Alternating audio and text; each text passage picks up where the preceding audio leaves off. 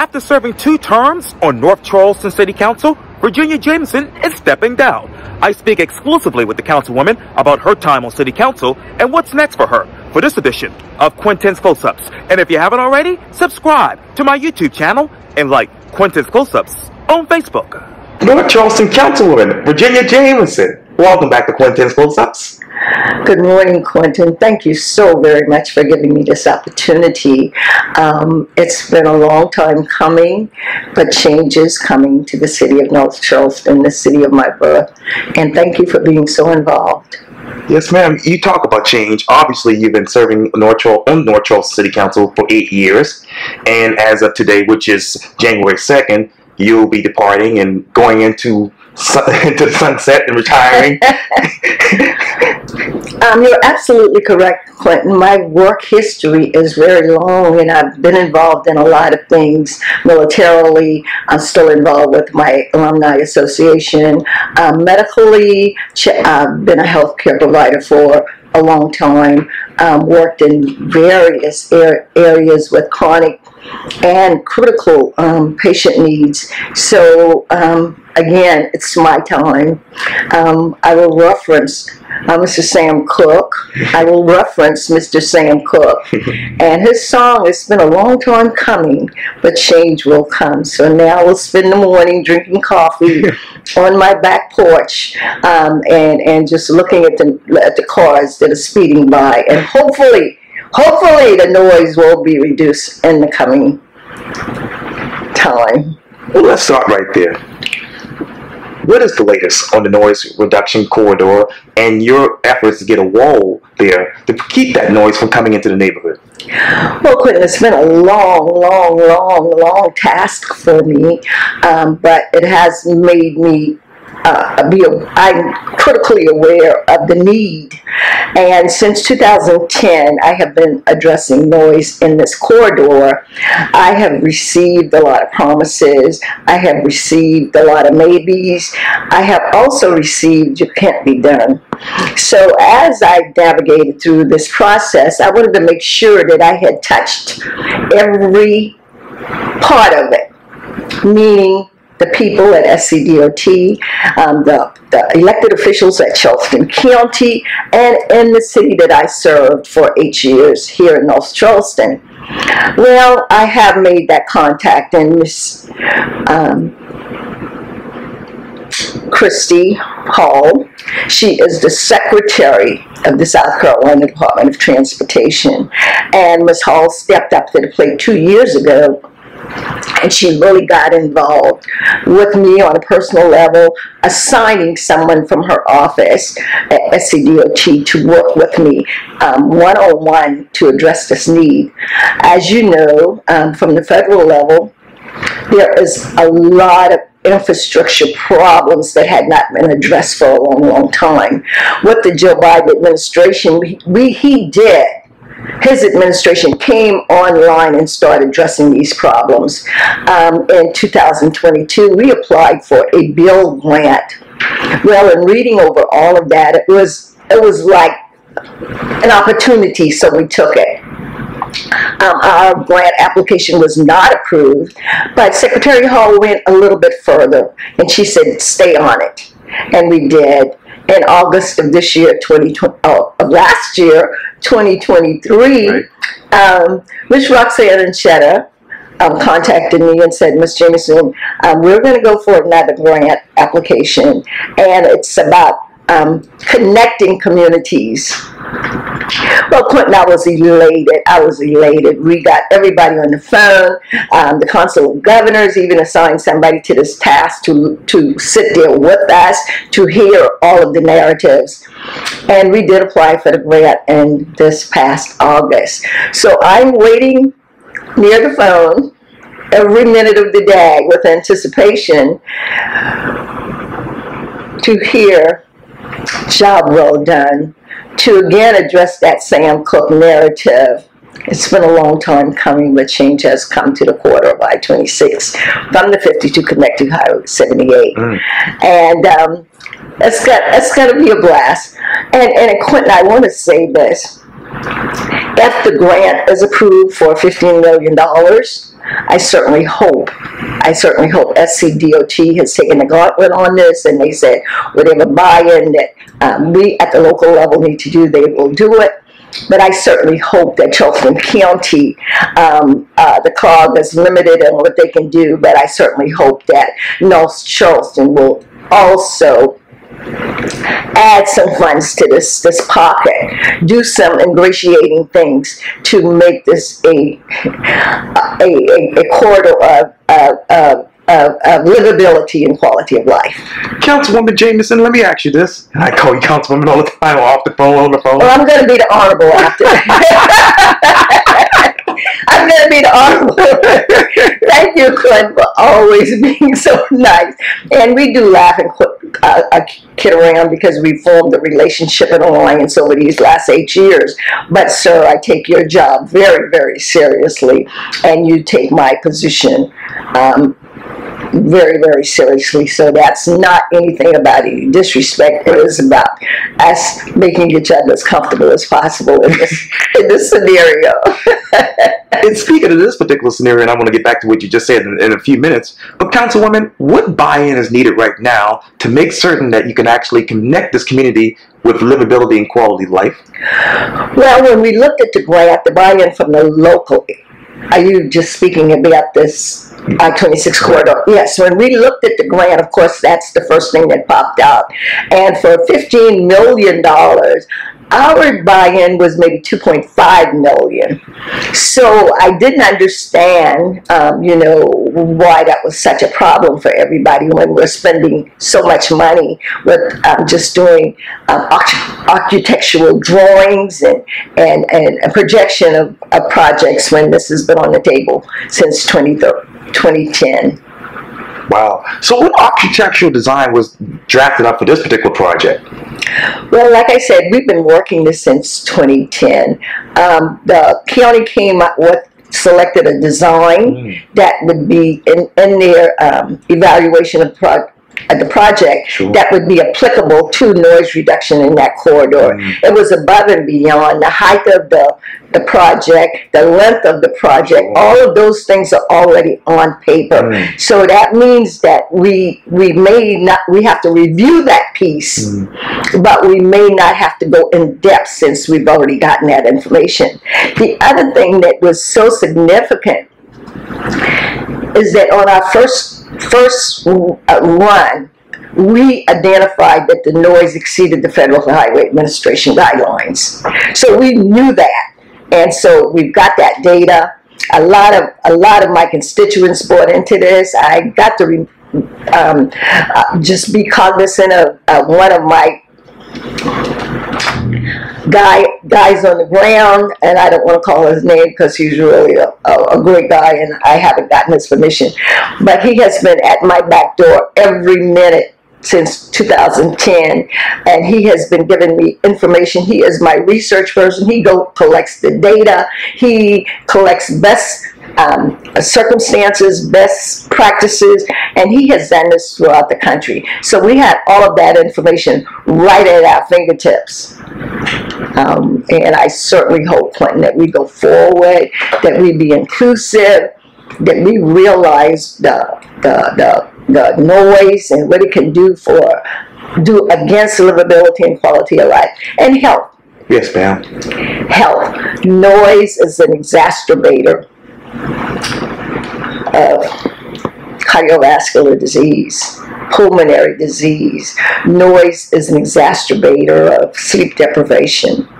Um, noise is that silent, silent exacerbator of death.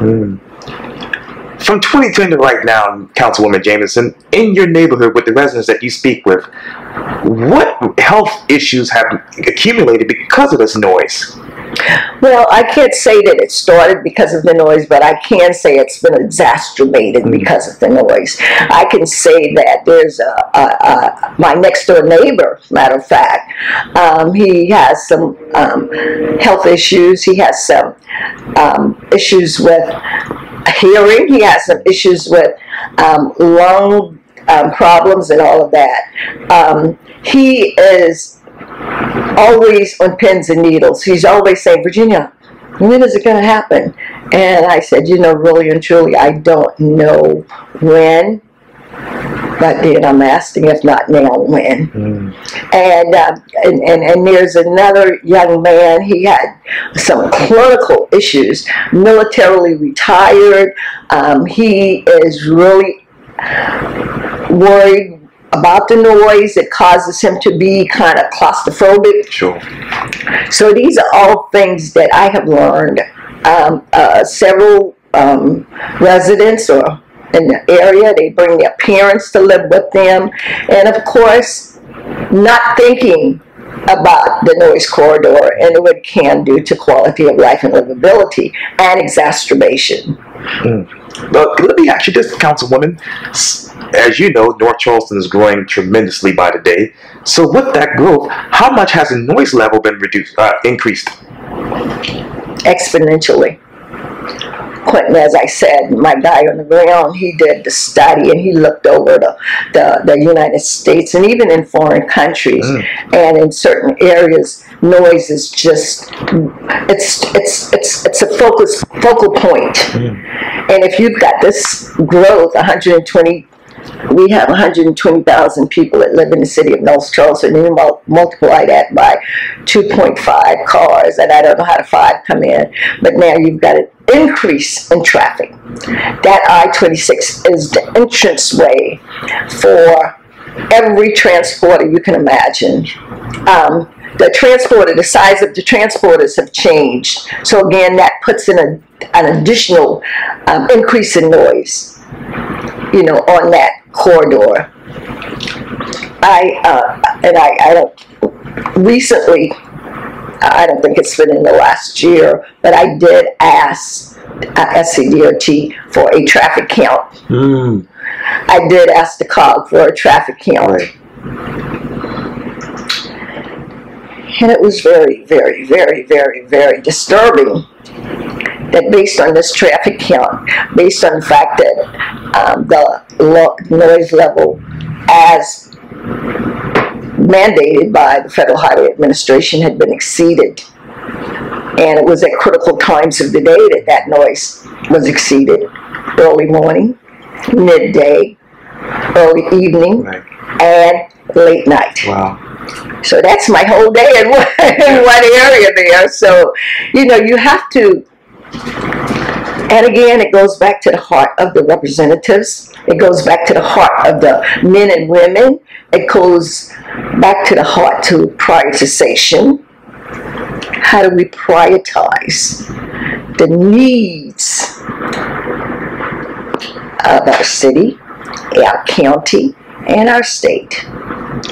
Councilwoman, let me ask you this. On the weekends, does that noise level get reduced significantly?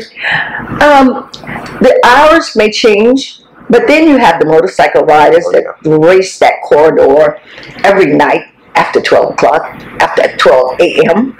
Um, and you have that that driver with that exhaust that's unbelievably loud, especially since the Environmental Protection Agency, I thought, had mandated, um, you know, noise levels for cars. But evidently that's not being um, addressed anymore.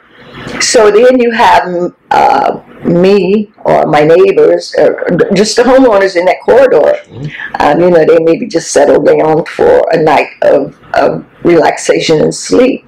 And then all of a sudden, this motorcycle team drives through this corridor. Well, you you've just disrupted my whole night. Mm-hmm. So I come into the kitchen just to get a drink of water, and they're flashing blue lights in that corridor right behind their homes. Um, you major accidents are there cars going off the road in the ditch. I did see that SCDOT had just put up a guardrail. Sure. And we need that guardrail at Otranto and Deerwood right now. so um, these are things that that can be very, very kind of that not a lot of thought had been placed on these livability issues, these quality of life issues, these um, disregard for home ownership. Um, what I have seen in the in that whole corridor is that there's been a change of home ownership. Um, there, the, in, in, in two particular areas that I can see that home ownership has gone away. And now we have very transient people Right. that doesn't have any reason to stay if they find that the noise is debilitating or, or interrupt their quality of sleep or their quality of relaxation, they move. You know, you have a some people do month month lease, some people do six months lease, some people do a year lease. So at the end of that period, they move.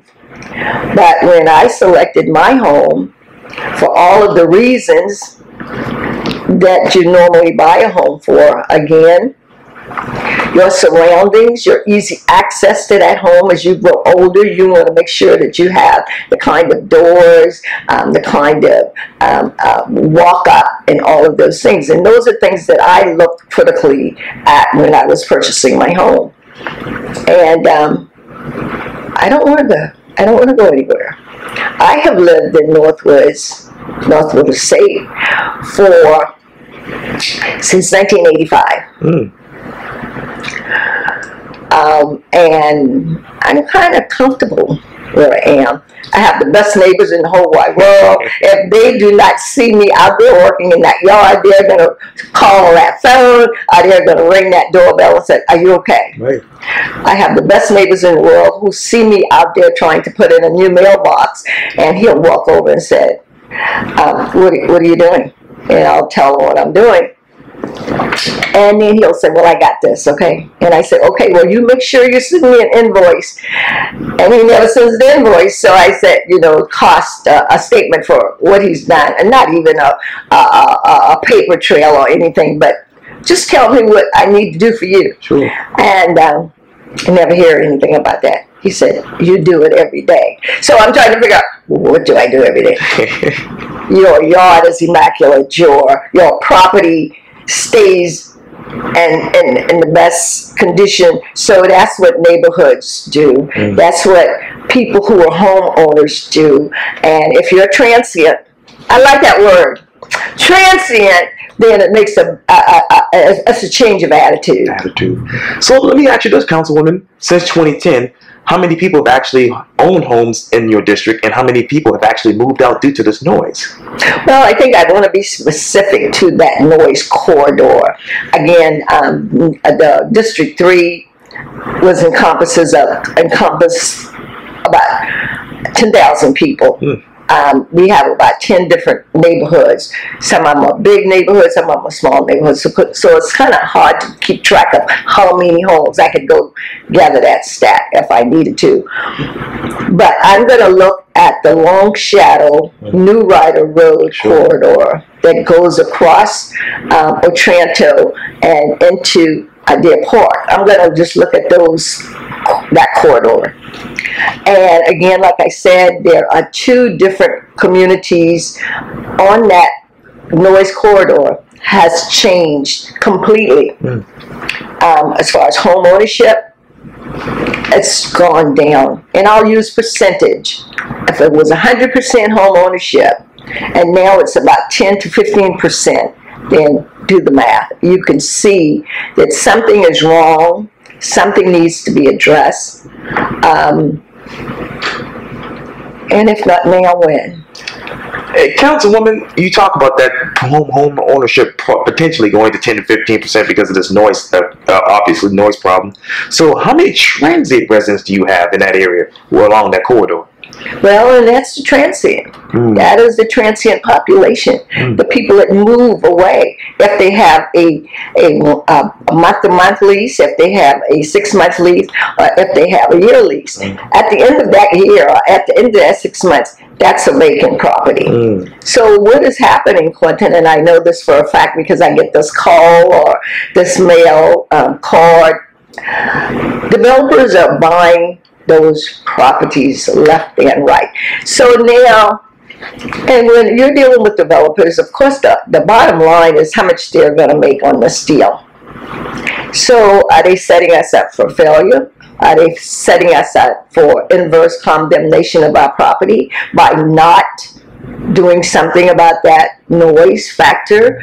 Are they depreciating our, our dollar value of our property, our expectations about having that degree of assets? So there's a lot of factors here. Mm.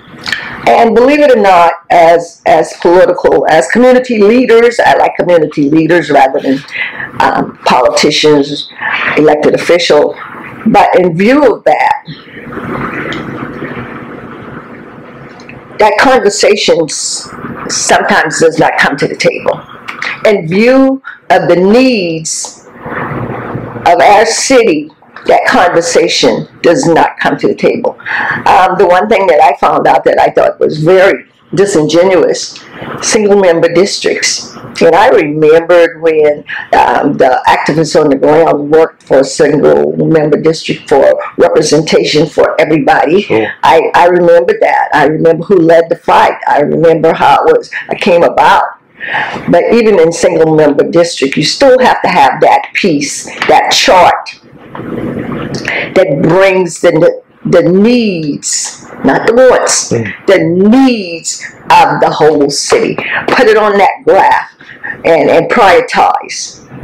Well, this district may want this, but we need to work with these people who need this thing, who needs their quality of life and their livability enhanced.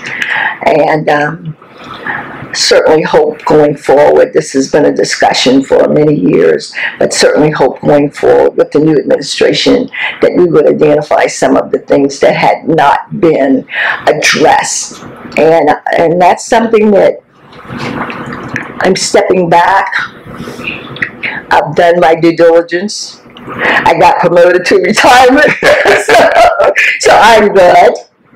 But I'm certainly going to still be that quieted voice in my concerns.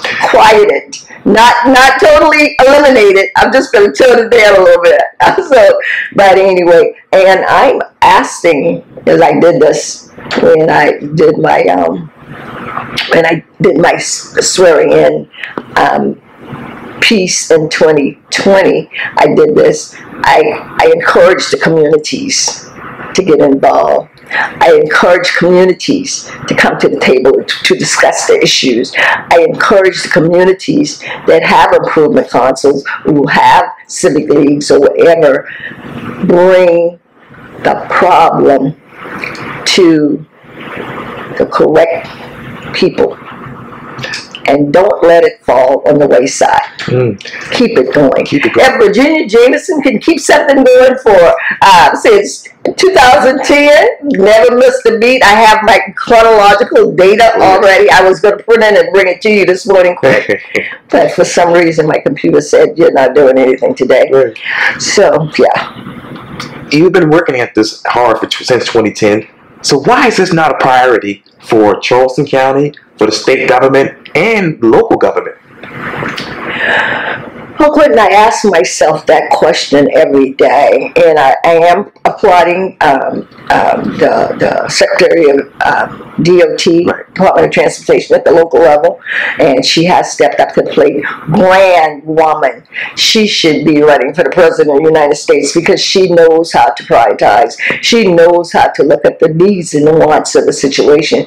And again, everything is slow because the Secretary of State may be on board with everything, but is the governor on board? Have did they hear that conversation? Did they have that conversation? I want to tell you that I did speak to SCDOT commissioners in one of their sessions, and they got it. They got it. Got the little cards back saying, uh, "Ms. Jacobson, thank you for addressing us. Uh, what you said really resonated." Um, there's also another agency, and I hope I, I, I say this right. Um, and they're about the big projects in, in the state of South Carolina.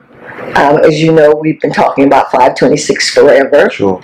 Um, as you know, we've got a big project going on with the um, 526 um, project for going to East Cooper and West Ashley. Right. Um, there are a lot of projects going on, and these are the people who do the funding. And um, again, I would I would like to encourage them to look at the whole picture. Um, some people are more vocal than other people. Some people can state the facts better than other people, but don't look at that. Go back and put it on the table and look at it. What is the need? And prioritization is such a important thing for our communities. Prioritization, prioritizing, looking at the needs over the wants. So, as we're sitting right now, Councilwoman, what are the needs and wants for District 3 and overall for the city of North Charleston? I'm glad you asked that question. Um, as I as I prepared to um, leave Air District as the City Council representative, I did an analysis for myself, and I'll just tell you these things. The I-26 noise corridor, Highway 52 connected to Highway 78 the intersection of Otranto Road and Deerwood, something that has been on the table since 2016 when I first walked in the door. The new Palmetto Commerce interchange that has really, and I'm not going to say again, the need was not not gauged properly. Um, the conditions were not gauged properly. The, the original design that Charleston County selected and then later add on to it was not done and with professional ethics. Community safety, speeding in our R1 communities.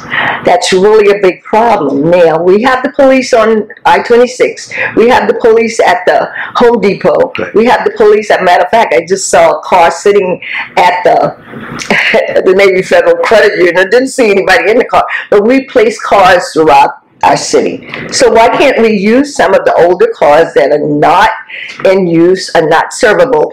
Just, just put those in communities, especially where there's these, these speeding issues, especially in our one communities where we have people walking, we have children playing in their yard that may just chance running out to get the get a ball, or we have senior citizens backing out of their driveway and people ignoring the stop signs, people ignoring that caution. And if you if you go to District Three, we're like big old flash flashlight. There are flashing lights everywhere. There's a speed radar detector. Putting some going on it. Oh, yeah. Uh, speed radar detector um, pieces. But are we collecting the data? Are we going back with what is the second piece to that that we need to make to give these people, senior citizens, children, school, um, a place in this district. We got two schools in the district. Have we done our very best, no matter how much it costs, have we done our very best in ensuring that livability piece? Two more questions because I know the battery's running out, Councilwoman. But do you all have enough money to put infrastructure in your district right now? I really don't know that. I do know that if we did some grant writing, proper grant writing, if we did some more research, because there are a lot of grants out there, there are a lot of agencies who can help us with our, uh, our needs. Um, I think that monies would flow a little bit easier. Um, again, sometimes um, local government, the, you know, they feel, it, well, I don't want anything from the federal government, but that's where the money is. That's where all the tax dollars go. That's why uh, uh, President Biden was able to say, we're doing this infrastructure piece. That money, you would not believe billions of dollars have gone to different projects. Uh, there was a, a bridge that had collapsed numerous times, and those people were able to go to this infrastructure thing piece to get that money. So there is money. Are we using the proper modalities to get that money? Are we using the needs of Air City to get that money? Uh, North Charleston is like a gold mine. When we when we inherited, it was it wasn't an inheritance. Uh, when we were uh, given full control over all that Navy Yard, that is a gold mine right there. But let me just say this one. Okay, and then retention ponds, Right. sidewalk funding. Sure. We got two point five million dollars for sidewalks, but we really needed eight million dollars to make the streets safe. Um, we have a gym, we have a recreation center, but have we maintained it um, for that total use, that total quality of, for the citizens in these areas? Going back to the Navy Yard, did this pres- present city council make it made a mistake by voting on this? Should they have waited until the new council, the new mayor coming in to vote on this?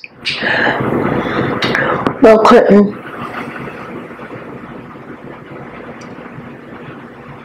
the rush to a project of this magnitude, a rush to hire a developer for this magnitude of of a project, the rush to putting a rubber stamp on it will get you nothing but a return